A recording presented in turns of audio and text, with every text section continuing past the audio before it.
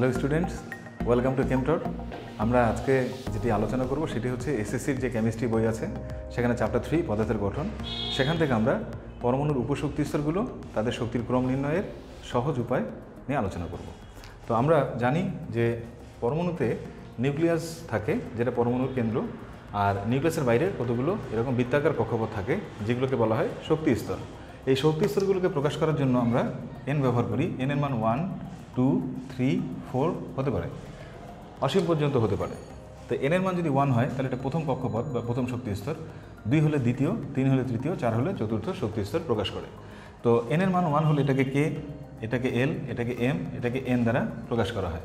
তাহলে যদি আমাদেরকে জিজ্ঞেস করা হয় কে সেল বা কে কক্ষপথ, তাহলে আমরা ধরে নেব প্রথম কক্ষপথের কথা বলা হচ্ছে, অর্থাৎ এনের মানটা এখানে ওয়ান এভাবে যদি এল বলা হয় এল সেল তাহলে এন এর মান আমরা টু ধরবো এখানে।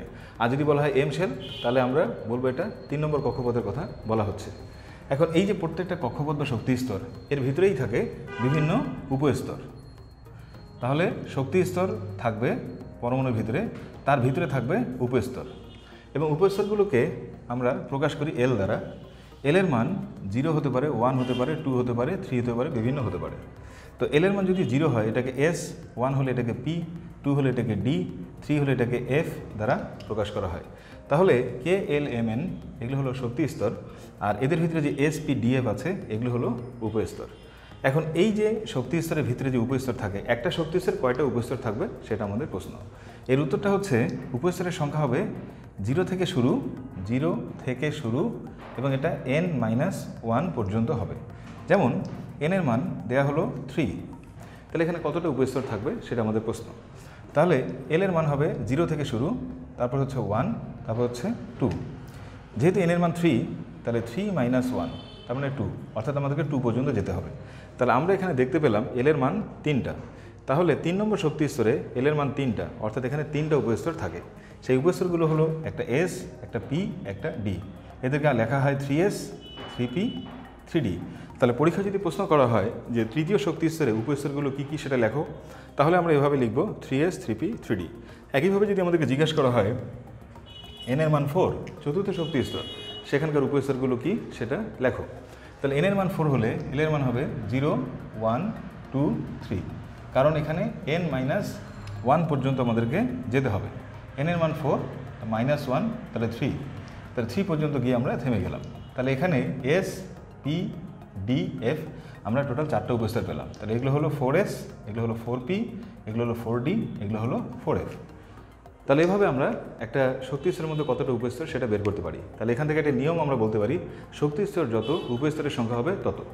যেমন চার নম্বর শক্তি স্তর, উপস্তর আছে এখানে চারটা।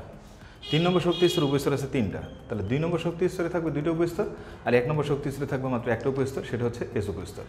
এখন পরমাণুতে ইলেকট্রন থাকে, যদি জিজ্ঞেস করা হয় কোথায় থাকে, উত্তর হলো ইলেকট্রন শক্তি স্তরে থাকে। শক্তি স্তরে কোথায় থাকে? উত্তর হচ্ছে শক্তি স্তরের ভিতরে যে উপস্তর, সেখানে ইলেকট্রনগুলো থাকে। তো আমার সামনে দুইটা উপস্তর দেওয়া হয়েছে, একটা হচ্ছে ফোর এস আর একটা হচ্ছে থ্রি এখন একটা ইলেকট্রনকে ছেড়ে দেওয়া হলো। দিয়ে বলা হলো যে তোমাকে রাখার জন্য একটা জায়গা বানানো হয়েছে, সেটা হচ্ছে ফোর এস আর থ্রি তুমি যে কোনো জায়গায় গিয়ে থাকতে পারো। তো সেক্ষেত্রে ইলেকট্রনটা কোথায় থাকবে? সেটা আমাদের প্রশ্ন। এর আনসারটা হচ্ছে এই উপস্তরের মধ্যে এবং এই উপস্তরের মধ্যে, যেটা শক্তি কম ইলেকট্রন সেখানেই থাকবে। যার এনার্জি কম হবে, সেখানে থাকবে। এখন এদের এনার্জি কার কম, কার বেশি, সেটা আমি কেমন করে বের করব? এর আনসারটা হচ্ছে এখানে একটা উপস্তরের জন্য এন এবং এল এর যোগফল বের করে। এন এর মান এখানে দেখা যাচ্ছে ফোর আর এল এর মান এস এর জন্য আমরা দেখতে পাচ্ছি এল এর মান জিরো হলে সেটাকে আমরা এস দ্বারা প্রকাশ করি। তাহলে এখানে এল এর মান বসাবো আমরা জিরো তাহলে যোগফলটা হলো এখানে ফোর আর থ্রি ডি উপস্তরের জন্য এন এর মানটা হচ্ছে থ্রি আর ডি উপস্তরের জন্য এখানে আমরা দেখতে পাচ্ছি এল এর মান যদি টু হয়, তাকে ডি উপস্তর বলা হয়। তাহলে এখানে আমরা টু বসাবো। তাহলে যোগফলটা কত হলো? এখানে ফাইভ আমরা পেয়ে গেলাম। তাহলে দুইটা উপস্তর, একটা হচ্ছে ফোর এস একটা হচ্ছে থ্রি এখানে এন প্লাস এল এর মান হচ্ছে ফোর আর এখানে এন প্লাস এল এর মান হচ্ছে ফাইভ তাহলে এন প্লাস এল এর মান যার বেশি হবে, তার শক্তি হবে বেশি, আর যার কম হবে, তার শক্তি হবে কম। তাহলে ইলেকট্রনটা যার শক্তি কম, সেখানে আগে প্রবেশ করবে। তাহলে এখানে ফোরেসের শক্তি যেহেতু কম, তাই থ্রি ডি ফোরেস দুটো উপস্থিত যদি পাশাপাশি রেখে দেওয়া যায়, আর একটা ইলেকট্রনকে যদি বলা হয় যে তুমি যে কোনো একটাতে যেতে পারো, তাহলে ইলেকট্রনটা কিন্তু ফোরেসের মধ্যেই যাবে, কারণ তার শক্তিটা হচ্ছে আমাদের কম। এখন অনেক সময় আমাদেরকে এরকম উপস্তর দিতে পারে, যাদের এন প্লাস এলের যোগফল হলো সমান। যেমন, এখানে আমাদেরকে দিল ফোর এফ আর দিল ফাইভ ডি এখন দিয়ে যদি বলা হয় যে কোন উপস্তরে ইলেকট্রনটা আগে যাবে, তাহলে সেক্ষেত্রে এন প্লাস এল এর যোগফলটা আমরা বের করব। এখানে এন এর মান হচ্ছে ফোর এল এর মান হচ্ছে এফ এর জন্য থ্রি এন এর মান হচ্ছে ফাইভ এল এর মান হচ্ছে এখানে টু যোগফল এখানেও সেভেন এখানেও সেভেন তাহলে যোগফল কিন্তু সমান হয়েছে। যখন এন প্লাস এল এর যোগফল সমান হবে, তখন দেখতে হবে এন এর মান। এন এর মান যার কম হবে, তার শক্তি হবে কম। এন এর মান যার বেশি হবে, তার শক্তি হবে বেশি। এখানে দেখা যাচ্ছে এন এর মানটা ফোর আর এখানে এন এর মানটা ফাইভ অর্থাৎ এটা যেটা বেশি। তাহলে বলা যায় ফাইভ ডি এর শক্তি এটা ফোর এফের চেয়ে বেশি।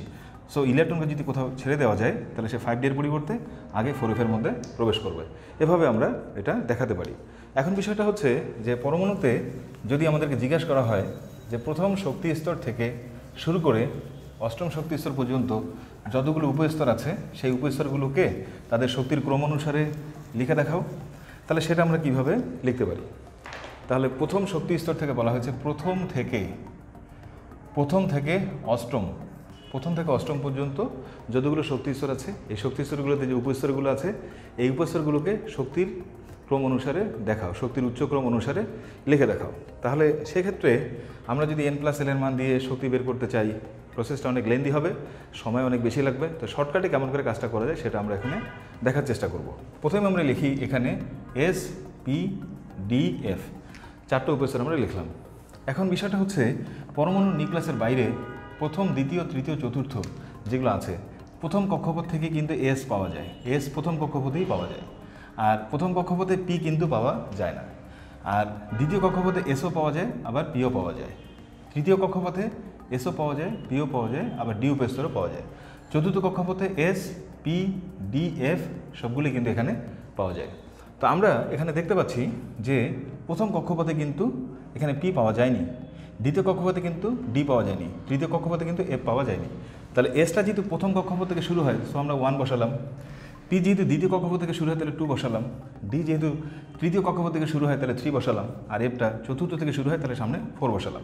এখন ছোট একটা নিয়ম, সেটা হচ্ছে যাহা বলবে দুইবার বলবে, যাহা বলিবে দুইবার বলিবে। তো এটা দিয়েই আমরা অনেকগুলো উপস্তকে শক্তির উচ্চক্রম অনুসারে লিখতে পারি। কীভাবে? প্রথমে আসি আমরা এস তাহলে লিখলাম এস তো এসটা আমরা দুইবার বলব। এস এস এরপরে হচ্ছে পি থেকে এস তাহলে লিখলাম পি এস পি এস এরপরে আমরা লিখলাম ডিপিএস তাহলে ডিপিএস ডিপিএস যাহা বলব, দুইবার করে বলব। এরপরে হচ্ছে এফ ডিপিএস তাহলে এফ ডিপিএস এফ ডিপিএস তার মানে আমি যেটা বলছি, দুইবার করে বলছি। প্রথমে এস এস এস পরে পিএস পিএস পিএস পরে ডিপিএস ডিপিএস ডিপিএস পরে এফ ডিপিএস আবারও এফ ডিপিএস আমরা লিখে ফেললাম। এবার যে কাজটা করতে হবে সেটা হচ্ছে এন এর মান বসাতে হবে, অর্থাৎ সামনে ওয়ান টু থ্রি ফোর বসাতে হবে। সেটা কীভাবে বসাবো? এটা বসানোর নিয়মটা হচ্ছে এসটা ওয়ান থেকে শুরু হয়। তাহলে এটা হচ্ছে ওয়ান এস মানে একদম প্রথম। তাহলে তারপরে যে এসটা আসবে, সেটা নিশ্চয়ই ফোর এস হবে না, সেটা নিশ্চয়ই ফাইভ এস হবে না, কারণ ওয়ানের পরে টু হয়। তাহলে পরে এসটা হবে টু এস তারপরে যে এস থ্রি এস তারপরে যে এস এটা হবে ফোর এস তারপরে যে এস ফাইভ এস তারপর হবে সিক্স এস তারপর হবে সেভেন এস তারপর হবে এইট এস এসের ঝামেলা শেষ। এবার আমরা পি থেকে শুরু করি। পি পি শুরু হয় টু থেকে। তাহলে এটা প্রথম পি তাহলে এটা টু পি এটা তারপরে পি এটা থ্রি পি তারপর পি এটা ফোর পি এটা ফাইভ পি এটা সিক্স পি এটা হচ্ছে সেভেন পি এরপর হচ্ছে ডি ডি শুরু হয় থ্রি থেকে। তাহলে এটা হলো থ্রি ডি এটা হলো ফোর ডি এটা হলো ফাইভ ডি এটা হলো সিক্স ডি এরপরে এফ এফ শুরু হয় ফোর থেকে। তাহলে এটা হচ্ছে ফোর এফ এটা হচ্ছে আমাদের ফাইভ এফ এটাই হচ্ছে উপস্তরগুলো শক্তির উচ্চক্রম। এখন যদি আমার সন্দেহ লাগে, যদি মনে হয় যে এটা ঠিক নাও হইতে পারে, তো দেখি আসলে এটা ঠিক হয়েছে কি না একটু আগে আমি যেটা শিখিয়েছিলাম সেটা হচ্ছে ফোরেস আর থ্রিডি।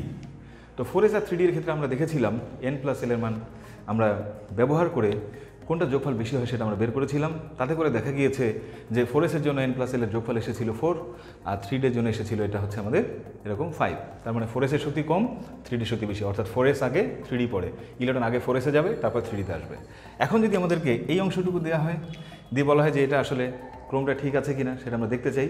তাহলে আমরা দেখি, এখানে আছে ফাইভ ডি এখানে আছে সিক্স পি এখানে আছে সেভেন এস তাহলে এন এর মান ফাইভ সিক্স সেভেন এল এর মান এটা ডি এর জন্য টু পি এর জন্য ওয়ান এস এর জন্য জিরো তাহলে এন এবং এলকে যদি যোগ করা যায় এখানে হবে সেভেন এখানে হবে সেভেন এখানে হবে সেভেন সব জায়গায় কিন্তু সেভেন হয়েছে, সমান হয়েছে। তাহলে ইলেকট্রন কি সব জায়গায় একসাথেই যাবে? নাকি আলাদা আলাদাভাবে যাবে? এর আনসারটা হচ্ছে যদি এন প্লাস এলের যোগফল সমান হয়, তাহলে এনের মান যেখানে কম হবে, সেখানে ইলেকট্রনটা আগে যাবে। তাহলে এখানে এনের মান সবচেয়ে কম, তাহলে ইলেকট্রন সবার আগে এখানে যাবে, তারপরে এখানে তারপরে এখানে যাবে। অর্থাৎ শক্তির উচ্চক্রম অনুসারে এটি সাজানো হয়েছে। আশা করি, শিক্ষার্থী বন্ধুরা, তোমরা বিষয়টি বুঝতে পেরেছ। এটা অনেক হেল্পফুল তোমাদের জন্য, এটা অনেক কাজে লাগবে। প্র্যাকটিস করে এটা মনে রাখবে। ধন্যবাদ সবাইকে।